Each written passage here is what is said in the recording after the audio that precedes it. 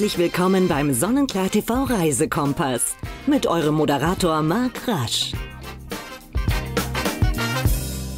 Und damit herzlich willkommen zu einer neuen Ausgabe vom Sonnenklar TV Reisekompass. Und nachdem wir uns vor zwei Wochen aus Ägypten gemeldet haben mit dem lieben Tobi Zirpel und dort über den exzellenten und außergewöhnlichen Badeort El Guna gesprochen haben, ja, da habe ich mir gedacht, okay, dann fliegen wir doch einfach mal von Ägypten aus direkt an die türkische Riviera. Und hier nehmen wir auch gerade jetzt diesen Reisekompass auf. Und ich freue mich, dass ich ja die Urlaubsexpertin überhaupt, wenn es nicht nur um die türkische Riviera geht, an meiner Seite habe. Hatice Özdemir. Hallo, liebe Hatice. Schön, dass wir hier äh, unseren Podcast aufnehmen dürfen.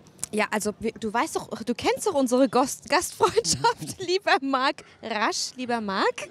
Ja, hallo. Ähm, also die Vorfreude war wirklich riesig und äh, jetzt, wo ihr da seid, freue ich mich natürlich noch mehr. Und ich muss sagen, äh, die letzten drei Tage waren einfach herrlich mit euch hier. Hat uns auch riesig Spaß gemacht. Man muss jetzt dazu sagen, Sonnenklar TV hat die letzten drei Tage ähm, live von der türkischen Riviera gesendet, berichtet. Richtig einige Stunden Live-Sendung jeden Tag. Und ähm, das hat riesig Spaß gemacht und macht auch weiterhin Spaß. Und dann haben wir uns gedacht, okay, wenn wir natürlich schon mal vor Ort sind, wenn du vor Ort bist, nutzen wir die Zeit und äh, sind hier an einem wunderbaren Strand. Wo genau? Wir befinden uns heute am Kundu-Lara-Strand, nur 15 Minuten vom Flughafen entfernt und 20 Minuten von der Altstadt von Antalya. Ach, also ein perfektes Urlaubsdomizil, ähm, aber nicht nur Lara, sondern wir sprechen in den nächsten 30 Minuten natürlich natürlich über die unterschiedlichsten Urlaubsorte, über Hotelstandards, über Ausflugstipps, ähm, was man machen kann. Sollte man das buchen bei der Reiseleitung oder auch mal mit dem eigenen Pkw? Was sollte man alles äh, bedenken bei Urlaub an der türkischen Riviera oder überhaupt in der Türkei? Weil das Ding ist ja, Millionen Deutsche und nicht nur Deutsche waren natürlich schon hier zu Gast und ja. ähm, haben tolle Urlaube verlebt, aber viele verlassen die Hotels gar nicht. Und da wollen wir natürlich ein bisschen auch mal aus den Hotels rausgehen in den nächsten 30 Minuten und äh, darüber sprechen. Ein sehr guter Plan, würde ich sagen, weil ich bin nämlich immer dafür, rauszugehen, auszugehen, Neues zu entdecken und vielleicht auch mal altbewährtes nochmal wieder neu zu entdecken. Sehr, sehr gut. Und altbewährt ist natürlich mittlerweile dieser Reisekompass und äh, wir gehen auch neue Wege, denn man kann uns natürlich jetzt nicht nur hören über die verschiedenen Streaming-Portale, sondern wenn, dann, wenn man möchte, kann man uns auch zuschauen. Ähm, diesen Podcast gibt es auch als Video auf YouTube zu sehen. Da einfach eingeben, der Punkt Reisekompass und äh, dann könnt ihr euch das Video zu diesem Podcast anschauen oder natürlich auch einfach mal auf Instagram gehen, auf Facebook immer der Punkt Reisekompass und wir freuen uns natürlich ganz besonders über fünf Sterne und über ganz viele Likes von euch. Übrigens, dann könnt ihr uns auch schwitzen sehen, weil wir haben jetzt heute, wir haben heute, muss man einfach mal dazu sagen, es ist der 8. Oktober. Ähm, hier nehmen wir diesen Podcast auf. Es sind, glaube ich, gefühlt ja so 30, 31 Grad. Mehr. In der Meer? Sonne mehr, ja. Mhm. Ah ja, schön. Deshalb ja. läuft auch das Wasser schon runter. Und wir sind gerade am Anfang des Podcasts. Toll. Da freue ich mich schon, ich wie wir am auch. Ende aussehen. Oh Mann, oh Mann, oh Mann. Hatice, du, wir kommen an mhm. am äh, Flughafen Antalya mhm. und äh, dann geht es in die einzelnen Urlaubsorte. Was sind so die bekanntesten ähm, an der türkischen Riviera? Lara, Belek, Wo wir uns gerade befinden, richtig, Lara? Lara, Belek, Side, Alanya und Kema. Ich glaube, das sind einfach die bekanntesten Gibt es Unterschiede zwischen ja, den ähm, Orten und, und wo liegen die? Also was kann man sagen, was sollte jemand wissen, der Urlaub in Side macht? Was sollte jemand wissen, der Urlaub in Kema macht? Also Kema ist Richtung Westen. Das heißt, äh, wir befinden uns dann schon ganz nah am Taurusgebirge. Das heißt, das Klima ist ein bisschen anders, die Landschaft ist äh, komplett anders. Man hat schon ein bisschen so ein Ägäis-Gefühl hier, wenn man Richtung Kema unterwegs ist. Die Berge sind ganz, ganz nah und die Berge, von denen ich spreche, lieber Marc, sind tatsächlich äh, in Kema so zwei, zweieinhalbtausend Meter hoch, Ui. ja, die man auch besuchen kann. Es gibt verschiedene Seilbahnen und gerade äh, jetzt und äh, ein paar Wochen später finde ich eine super Idee. Kannst du unten im Meer baden und mit, dann mit der Seilbahn hoch ins Schnee. Was? Ja. Gibt es sogar Skipisten? Ja, ja klar. Ehrlich? Mann, ich habe meine Skier jetzt zu Hause vergessen und meine Skisachen. Kann ich mir leihen? Kannst du ausleihen. Ah ja, dann gehe ich ja nächste Woche doch gleich mal Skifahren. erst, erst bei 26 Grad, 25 Grad hier ins Mittelmeer springen und dann hoch auf die Piste fahren. Ja, Ja, Wahnsinn. ja, das also so hinten in- von der Region Kema aus. Richtig. Äh, wir haben äh, letztes Jahr eine Schalte gemacht und da wollte ich unbedingt zeigen, wie vielfältig hier die türkische Riviera ist. Und äh, habe mich bei der ersten Schalte oben auf dem Berg aufgestellt, wo alles ganz weiß war. Und ich war natürlich dementsprechend angezogen. Und der Jan Kunert ist fast vom Stuhl gefallen, als er mich gesehen hat, weil es war ja eine Überraschung. Und eine Stunde später war ich am Meer in T-Shirt, in kurzen Hosen am Meer. Wahnsinn. Ja, ja. Übrigens, da du ihn gerade ansprichst, den Jan Kunert, wir machen normalerweise ja diesen Reisekompass immer gemeinsam. Ähm, aber ich bin jetzt einfach mal alleine zu dir an die türkische Riviera gereist und der gute Jan, der steht im kalten Studio in Deutschland im Sonnenklar TV-Studio und moderiert da.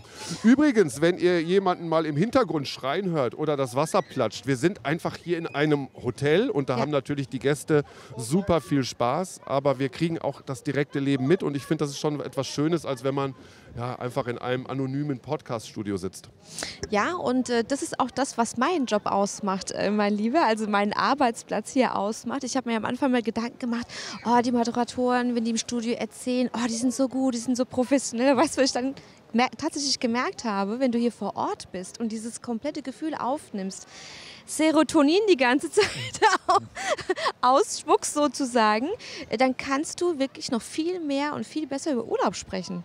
Glaube ich dir. Hast du nicht auch das sofort. Gefühl? Mhm, Ich habe das Gefühl, vor allen Dingen, weil gerade mein Wasser schon runterläuft, ja.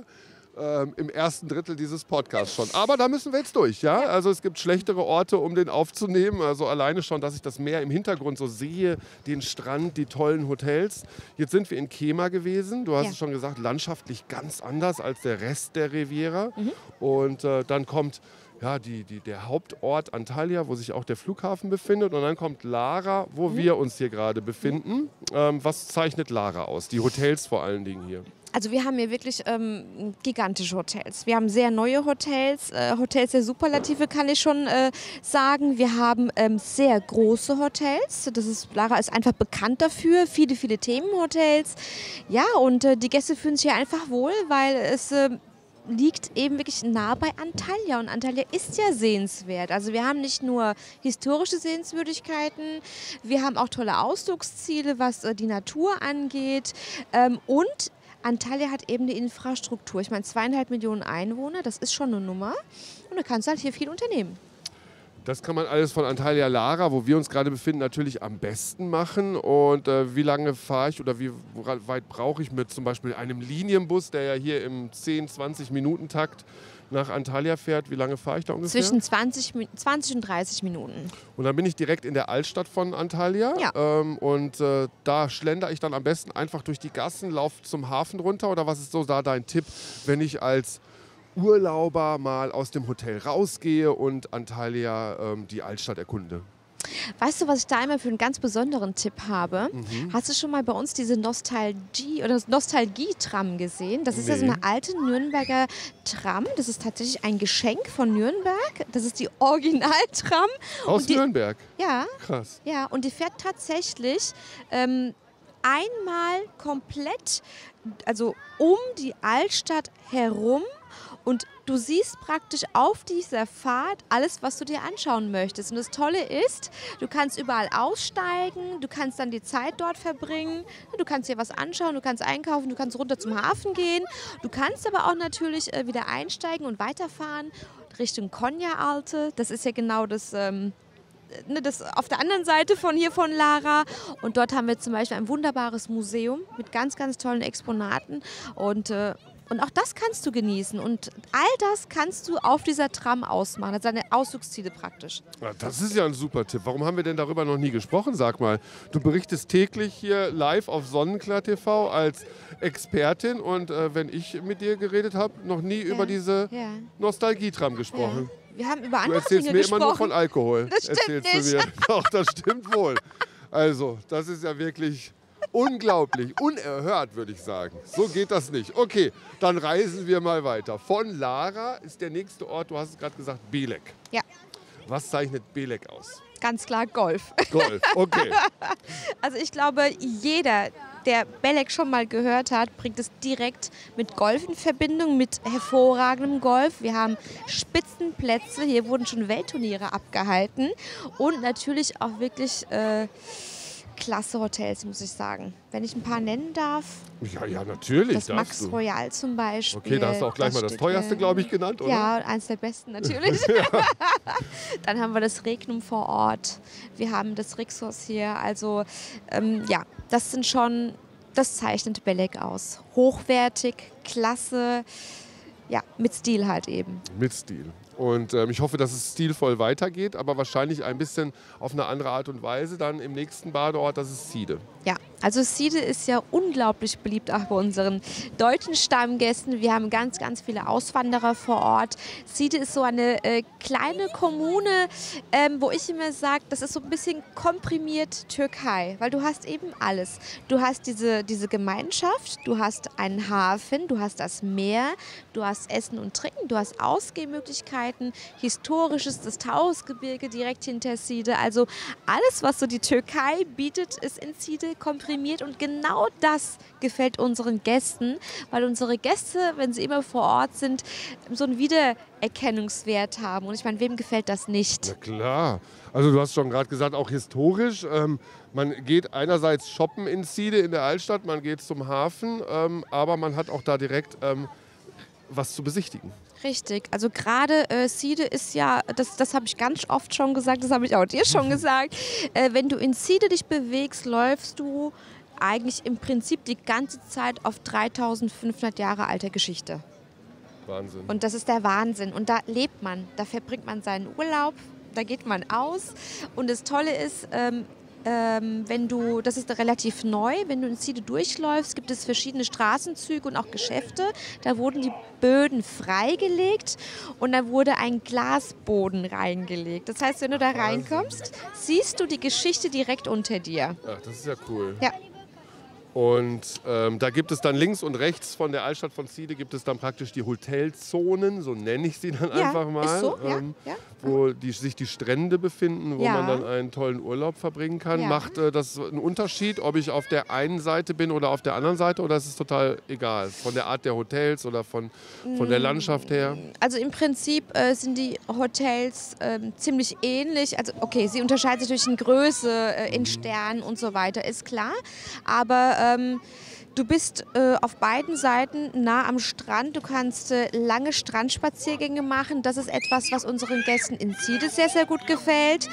Äh, wir haben einen feinen langen, schönen, flach abwalten äh, Sandstrand. Und auch gerade für Familien mit Kindern ist das natürlich eine ganz feine Sache. Ja, die Kinder haben wir gerade gehört. Der eine wollte ins Wasser springen, der andere wollte nicht ins Wasser springen und da gibt das schon mal Gezanke hier. also wer sich gerade wundert, was denn bei uns hier los ist, ja, wir befinden uns auf einem Steg, auf einem Hotelsteg und da springen natürlich die Kinder gerne ins Wasser. Soll ich mal kurz was sagen? Aber das gehört zum Urlaub dazu einfach. So ist es ja auch. Ähm, so, dann von Sida aus der nächste Ort, den du vorhin genannt hast in der Reihe, ist dann Alanya. Genau, also wir haben ja, also Siede ist ja so, ähm, dass es verschiedene Bezirke hat, also zieht sich bis nach Kriselort, das ist der letzte Ort, wo dann praktisch Alanya beginnt. Ähm, ich mache das immer so aus, äh, dass ich sage, so jetzt verändert sich die Farbe des Meeres.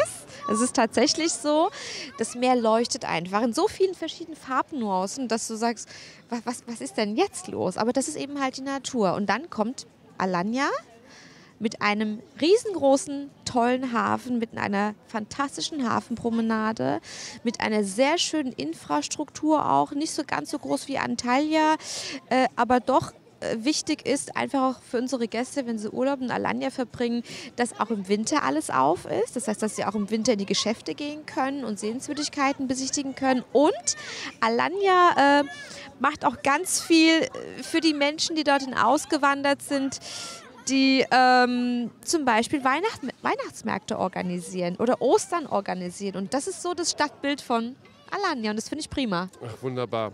Und jetzt höre ich so ein bisschen raus, so ähm, Antalya Lara, wo wir uns hier befinden und zum Beispiel Belek sind eher ich nenne es mal künstlichere Orte, die keine richtig echte Altstadt haben. Ne? Dagegen Ja. Antalya oder Side Ja. und auch Alanya sind dann so eher die gewachsenen Städte, die ursprünglich gewachsenen, oder? Richtig, ja genau. Also äh, auf, auf jeden Fall ist Bel Belek eine Urbanisation, kann man auf jeden Fall sagen.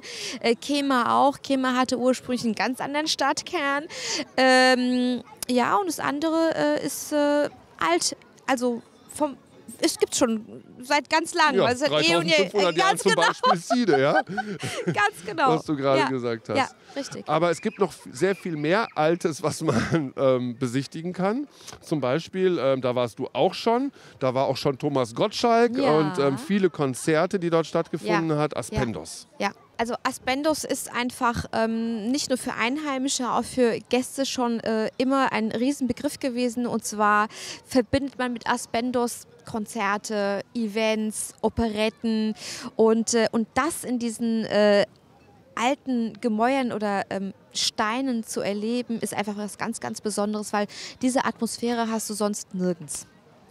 Gibt es außer Aspendos sonst noch so äh, Tipps, wo du sagst, da sollte man mal, äh, wenn man, egal ob jetzt in den Wintermonaten vielleicht oder in den Sommermonaten, wenn man mal sagt, okay, gerne auch mal einen Tag aus dem Hotel raus, ja, so schön das auch ist mit dem Ganzen, ähm, mit dem Meer und mit allem, was man dort machen kann, aber sich ein bisschen was anschauen? Ja, also meinst du jetzt Historisches oder meinst du allgemein? Egal, was sind so deine Tipps, wo du sagen würdest, ähm, sowohl historisch als aber auch freizeitmäßig, ähm, was man Also äh, neben Aspendos finde ich ja, äh, gibt es ja, gibt's ja noch Perger. Perger geht so ein bisschen unter, weil eben Aspendos immer so dominant ist. Aber wer schon mal in Perger gewesen ist, weiß, es gibt äh, unglaublich viel zu sehen. Auch das hat eine sehr, sehr interessante Geschichte. Ähm, außerdem, was ich noch machen würde, ich würde immer wenn ich hier bin, egal zu welcher Jahreszeit, ich würde ins Taurusgebirge reinfahren. Ob ich das mit dem Jeep mache, ob ich das mit dem Quad mache, ob ich mit dem Boot rumschippere. Äh, Es ist unglaublich vielseitig, es ist, es ist grün, es ist ein anderes Grün wie in Deutschland und da hat mich vor kurzem unser Kollege draufgebracht, ähm, wenn, du, wenn du irgendwo hinfährst, wenn du ins Taurusgebirge fährst, musst du dir vorstellen, dass du links und rechts immer diese Stände hast, wo sie Gössämer anbieten, wo sie den Mais köcheln und dieses dieses das Sehen und äh, Aufnehmen, Riechen, der Duft, das manifestiert sich hier oben und dann hast du ganz tolle Erinnerungen. Also tolle Erinnerung, du habe ich sowieso immer an das Essen hier. Und dann lass uns echt mal aus den Hotels rausgehen. Ja. Ähm, weil klar ist es lecker im Hotel. Und es gibt auch ähm, türkische Abende und es gibt immer ähm, die türkische Küche neben den ganzen internationalen äh, Spezialitäten. Aber das ist natürlich eine ganz andere Hausnummer, wenn man mal aus dem Hotel rausgeht und auch äh, mal bitte die Dönerbuden in Deutschland kurz vergessen. Ja? ja, muss man doch einfach mal sagen. Das verbinden halt viele einfach immer so damit. Echt immer noch? Ja, ich glaube schon. Ist, ist doch auch lecker. Ist doch auch okay, Ja, weißt du? Aber ähm, ja, ich auch. Aber es ist äh, so viel mehr. Es ist so viel mehr. Also wir haben ja, also du kannst, du kannst äh, davon ausgehen, dass du dir kulinarisch die Türkei dir so vorstellen musst, ähm, ein bunter Mosaikteppich.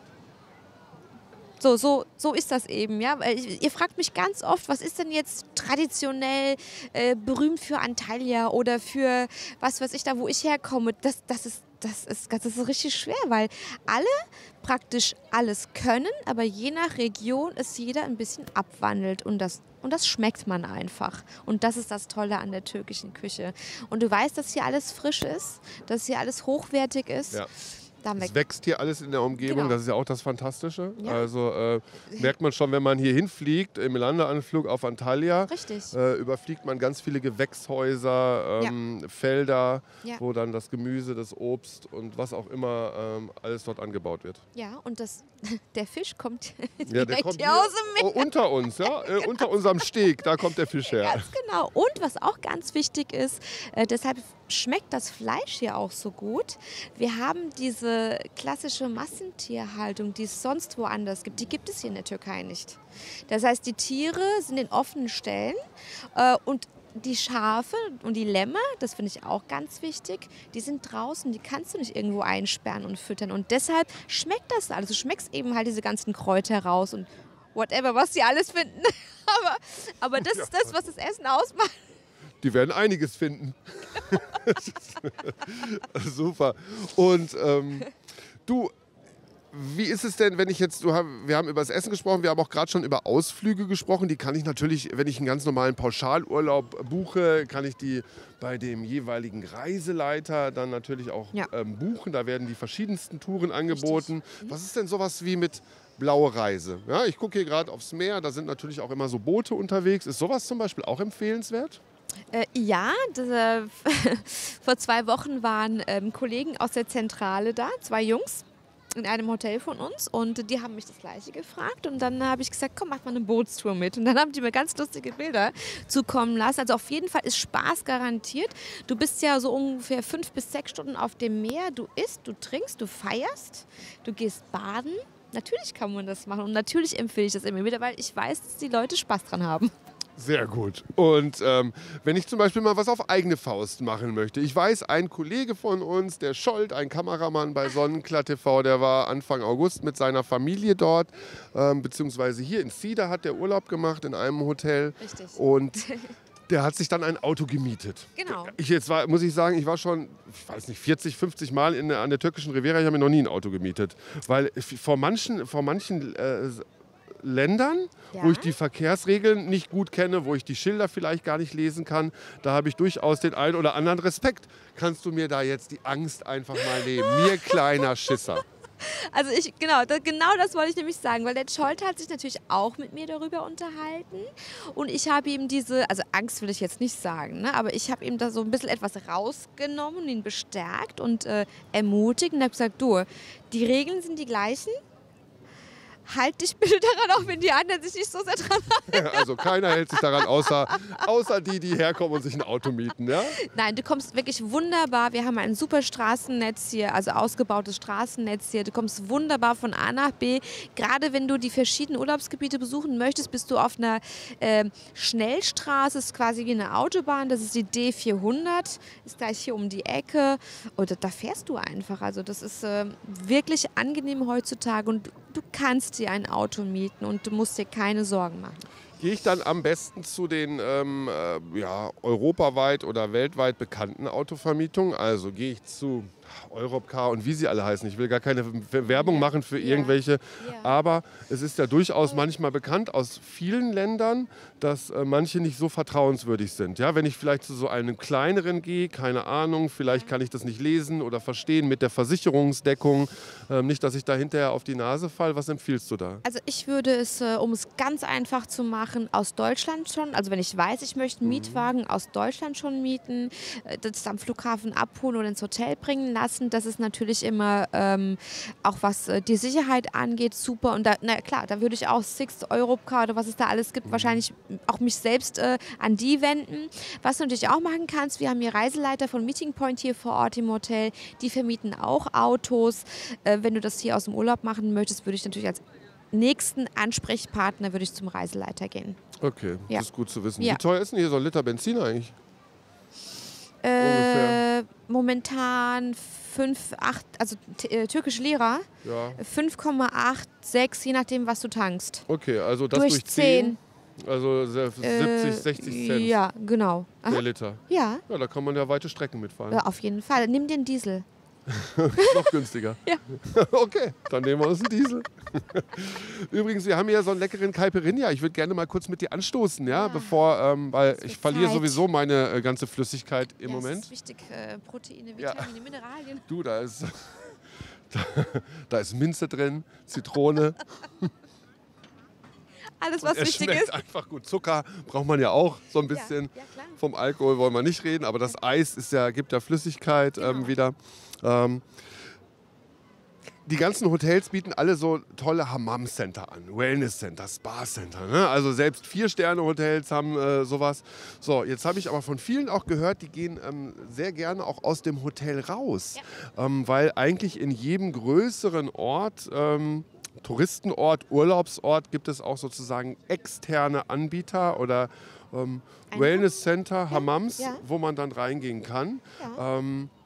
Kann ich einfach ohne Termin reingehen? Wie funktioniert das? Laufe ich da mal hin? Muss ich mich vorher über irgendwas informieren? Oder? Also es gibt ja verschiedene Hammams. Äh, hier zum Beispiel, ich spreche jetzt mal von Antalya. Wir haben ja viele verschiedene Hammams hier. Äh, manche sind äh, in so modernen Gebäuden drin, manche in, in wirklich noch alten Hammams drin. Im Prinzip brauchst du keinen Termin. Du wirst einfach immer bedient. Das ist überhaupt kein Problem. Und ähm, ja, was soll ich dir da Geh einfach hin. und ist wahrscheinlich sehr viel günstiger, als wenn ich es im Hotel mache, oder? Äh, ja, weil da gehen ja auch Einheimische hin und so und das äh, soll halt dann auch wieder, jeder soll sich das leisten können, das soll ja auch passen und äh, ja, ein bisschen günstiger ist es schon, ja. Mhm. Und ähm, ich würde gerne noch mit dir über das Einkaufen reden. Ähm, jetzt haben wir natürlich, ich gehe hier aus dem Hotel raus und da habe ich natürlich 15 Geschäfte in die eine und andere Richtung, die äh, die ganzen gefälschten Sachen verkaufen. Aber ähm, wer das haben will, okay, da will ich gar nicht reinreden. Und es gibt aber natürlich auch ganz viele Geschäfte, die ähm, gar nicht sich auf diese gefälschten Sachen spezialisiert haben, sondern einfach auch auf hochwertige Kleidung. Weil sowieso die Türkei ein Hersteller ist für Hemden, für irgendwelche Anzüge, Hersteller, für Anzüge, Handtücher, für Jeans. alles, alles. Ähm, es wird unheimlich viel produziert und ähm, nicht importiert. Wie heißt das andere? Exportiert. Echt, danke. Exportiert. Du bist so ein Exportschlager, bist du, meine Liebe. Türkischer Importschlager hat Tice Özdemir. Und äh, dann gehst du einfach aus dem Hotel raus. Wir haben hier ganz viele Malls, die auch das, was du hier in Fake findest, das gibt es auch dort im Original. Da zahlst du natürlich auch den richtigen Preis dafür, ist aber immer noch günstiger wie in Deutschland. Mhm. Und natürlich hast du noch ganz viele andere Geschäfte, Kettenläden, äh, auch, ähm, äh, äh, ähm, wie sagt man da nochmal? Auch normale einzelne, einzelne Läden, die halt nicht zu einer Kette gehören. Und da, da kannst du momentan, wenn du dir mal den Kurs anschaust, da brauchst du keinen Pfennig oder Cent umzudrehen. Da gehst du einfach hin und, und kaufst ein und da hast du viele Tüten gefüllt. Absolut. Bitte zu Hause drauf aufpassen, ja, weil natürlich bei Flügen aus der Türkei und aus Amerika und aus diesen ganzen Shoppingparadiesen wird auch gerne mal vom Zoll kontrolliert. Ja. Bitte über die Freimengen, die Zollfreimengen vorher informieren. Da wollen wir keine. Gibt es eigentlich was, wo du sagst, nein, das nicht? Also, mir fällt zum Beispiel auf, hier, wenn ich aus dem Hotel rausgehe in Antalya Lara, da gibt es eine Delfinshow. Da wird mir natürlich in jedem Land wird mir da immer anders. Das finde ich immer ganz schlimm. Das mag ich nicht so gerne. Ähm, egal, wo, wo ähm, das ist. Ja. Ich sage immer, nichts mit Tieren. Ich finde immer alles, was äh, Ausflüge mit Tieren sind, außer vielleicht Kamele oder sowas, ähm, finde ich immer ganz schlimm schlimm. Gibt es noch andere Sachen, wo du sagst, ach nee Leute, da lasst mal lieber die Finger davon, dafür macht lieber ja, was anderes Tolles? Ich überlege gerade. Mir fällt momentan wirklich nicht. Also was ich mit Tieren würde ich auch nichts machen. Das mit der Delfinshow, das ist was anderes. Da kenne ich mich mit aus und wollte eigentlich dir was dazu nee, sagen. da kriegst du mich nicht überzeugt.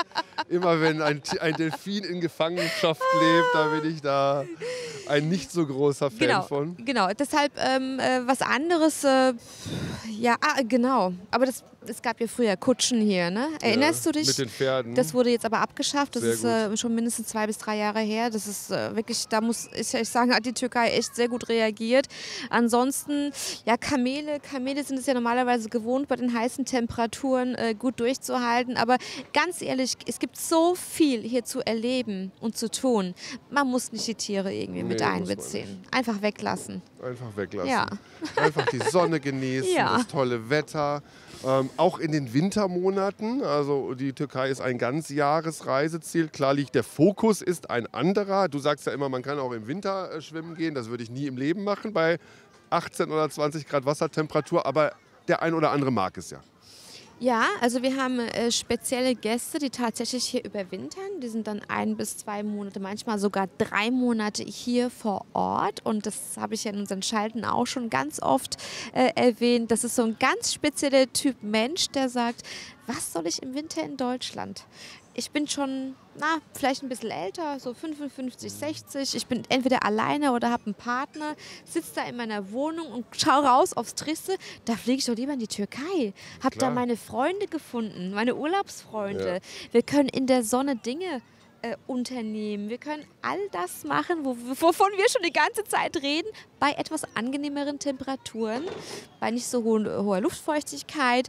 Ähm, das machen ganz, ganz viele hier.